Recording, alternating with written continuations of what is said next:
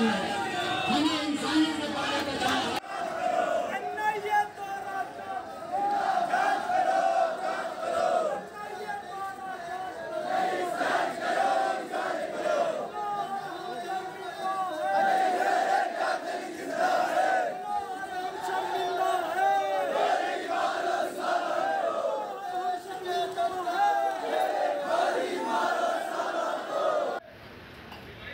मेरी आवाज़ के दायरे में आने वाले सभी माताएँ बहनें युवा चौगान की ओर बढ़े, चौगान की ओर।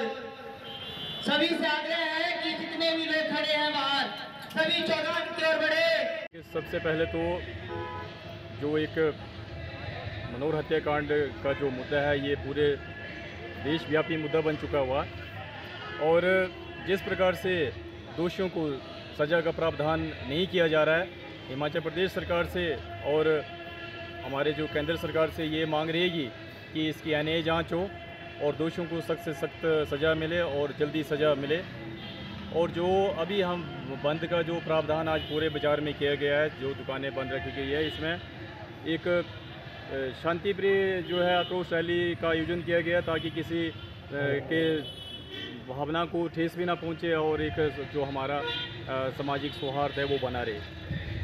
के प्रदेश के मुख्यमंत्री स्वयं जो है इस मुद्दे को भटकाना चाहते हैं और उनके खुद मंत्री को अभी हाल ही में जो इनके मंत्री चंद्र कुमार जी ज्ञान दे रहे थे कि हमने उस महिला के लिए प्रार्थना की है। जिनको ये पता ही नहीं है कि घटना कितनी बड़ी है और वो ज- बयानबाजी कैसे कर रहे हैं।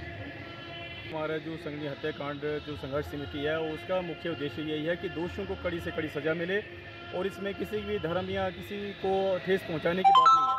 क्योंकि जिन लोगों ने ये जघन्य कृत्य किया हुआ, उसका जो है एनआईए की जाँच हो और जो दोषियों को सख्त से सख्त सज़ा मिले